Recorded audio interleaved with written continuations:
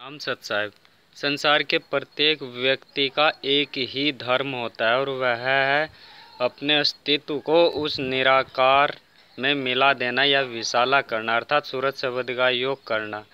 मनुष्य जन्म का भी एक ही महान उद्देश्य होता है मोक्ष व निर्वाण प्राप्त करना, आखिरत को सुधारना।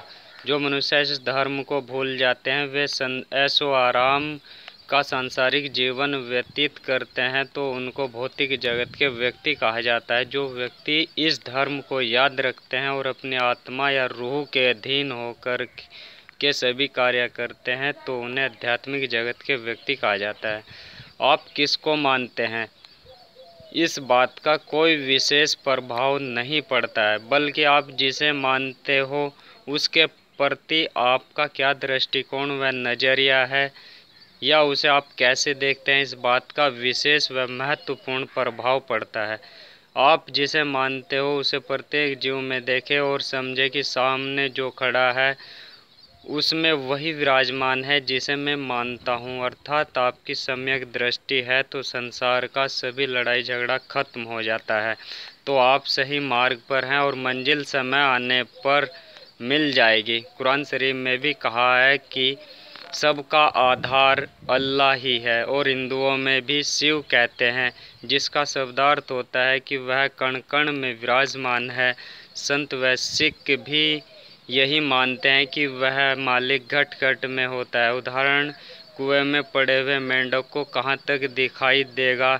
जहाँ तक उसकी परिधि होती है, अर्थात कुएँ की जहाँ तक परिधि होती है, वहीं तक कुएँ में पड़े हुए मेंढक को दिखाई देता है।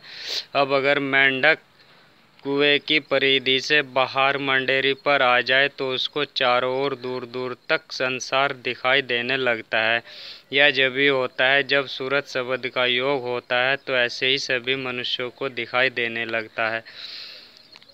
आपको न तो कुछ छोड़ना है और न ही कुछ पकड़ना है। आप जहाँ पर हैं, वहीं पर रहें और हमें भी अपने साथ में जोड़ना हमारा लक्ष्य व उद्देश्य नहीं है।